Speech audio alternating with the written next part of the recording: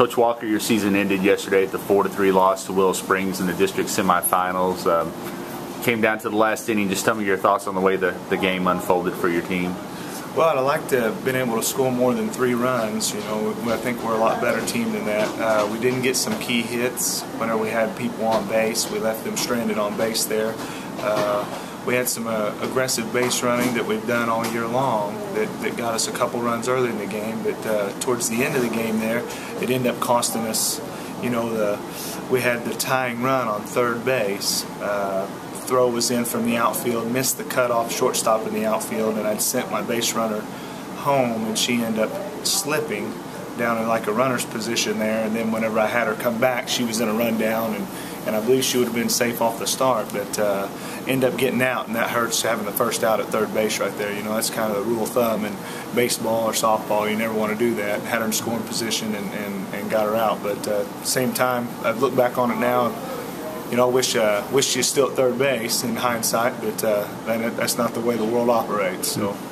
But talk about the way you guys ran the bases all year. You guys were by far of anybody we played the most aggressive on the base paths, and you got two runs in the first inning playing that way, and, and then like you mentioned, you lost a runner playing that way as well. But just tell me your philosophy on the base paths and how it's really helped you guys, and how it helped you yesterday too.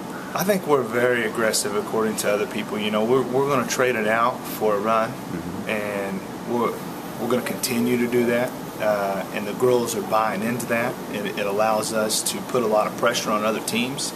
They have to make the play. They have to be uh, to go over these situations or scenarios for the game, or they're going to be placed into a, a type of um, situation where they're not going to get no outs, and we're going to end up scoring the run. Um, I think it's helped us all year long.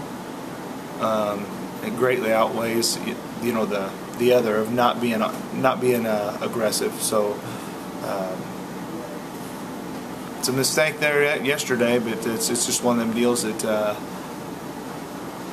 we need to we need to continue to be aggressive, and uh, we'll just have to see how it goes. We talked before the game, and we knew that uh, part of the key to pitching yesterday would be not walking runners, and, and Kayla just didn't have her best stuff yesterday, and, and you had to pull her at the top of the second inning, and they scored four runs, and all four of those runners reached by walks, and then one hit by batter. Um, just tell me about what you saw out of uh, Kayla, and then you brought in Taylor Franklin, who doesn't throw hard, but she threw strikes and didn't walk anybody. I think she walked one maybe, and, and kind of did a nice job in relief for you guys. She did, and, and you know that's why she's there. I mean, Kayla is my best pitcher as far as that goes, but uh, Taylor Franklin's going to come in and throw strikes. Um, you know, early in the game, uh, it, it's a pressure situation. It's something that she will she'll remember forever. It's something that she has to live with. You know, just like me making a mistake there at third base, and hopefully it'll make her a better pitcher and she'll want to work harder. I do know when we got off the bus after the game, she said, Coach Walker, I'm going to work on my pitching right now till next season.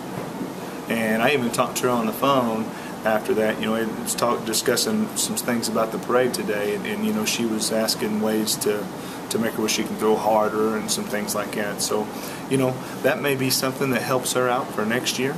Uh, Taylor Franklin came in and done a good job there's been a couple times she's came in this year and, and not done what she's supposed to, but you know her expectations in that situation is a lot. You know, hey Taylor, your turn to pitch. You're going to come in at those strikes, and then whenever she walks one or two, you're thinking, oh my gosh, what is what is going on here? But uh, you know, that kid really, I don't think ever sees pressure. So she handles it very well, and, and, I was very proud of the way she came in there, and very proud of the way you know we switch up about five defensive players there, and uh, they all made plays too. You know, I have an outfielder comes in and, and plays third base, and she done a good job, and and um, we just need to continue to get better. You guys out hit Willow Springs eight to three. It just didn't seem like you could get the the clutch hit um, had opportunities with runners on scoring base and just never could get that one big hit to kind of open things up. Yeah, we, we had a really big inning, you know, an opportunity for a big inning in the in the I don't know, maybe in the fifth or sixth inning there, and we had our, our number eight batter and number nine batter got on base. And then we came up there and had one, two, three with zero outs, and we ended up, you know, we had runners on second and third with our uh, leadoff batter up, and we scored no runs in that situation. And I said, you know, uh, that was kind of a dagger there. And I think I might have mentioned that to you at the game. I mean, man, we really need to come out of that with a run or 2 mm-hmm. and we just was not able to. I think a pop out uh, strikeout, and maybe even another strikeout. And you know, these are these are batters that's batting close to 500 and 500 and above. Yeah. So, you know, it's unfortunate that happens, but you know, the expectation is high that they've set all year. But we uh, can't do it every game. Everybody's going to have a good game and, and a bad game, and, and, you know, it's just unfortunate some of our key players didn't play up to their potential. So.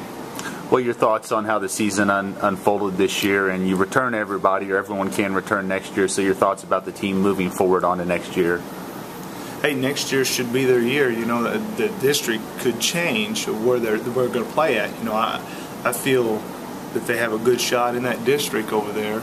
Um, we're the expectations is going to be up for them next year, and they're going to have to back that up. They're no longer going to be what's considered to be underclassmen or young. We're going to have juniors and, and seniors on the team and a couple freshmen. I'm very pleased with the freshmen that I had. I had two freshmen step in this year and playing varsity, and with uh, you know some two or three games there, I felt that they played you know like freshmen should. Other than that, they played above their expectations all year long and you know them whenever them games that I'm talking about, they had a couple errors.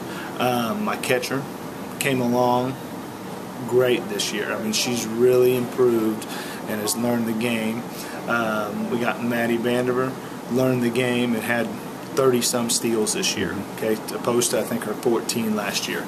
And I can go back through and look at all these batting averages. We've lowered our strikeouts. Um, Taylor Franklin got injured in the middle of this year there. I mean, she's right up there, almost to 30 steals a game, too. Um, Kayla Kelly, we expected her. We talked earlier in the year, and her expectations was to pitch two or three innings by the middle end of season. Mm-hmm. And you know, she was thrown in a situation where, um, due to some roster changes and some uh, unforeseen circumstances, uh, she was have to pitch seven innings. And, and I think she done a great job there of having to do that and, and step in and fill that fill that role. Um, we had some outfielders come along that's, that's came a long way that learned some lessons this year. And you know I'm, I'm proud of the team because they've had to overcome what seems like a lot of adversity this year.